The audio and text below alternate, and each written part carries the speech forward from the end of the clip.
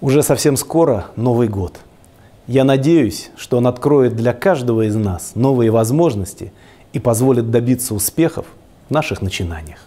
И, конечно, пусть сбудутся желания, которые мы загадываем под бой курантов. Эти праздничные дни дарят теплоту общения с дорогими нам людьми.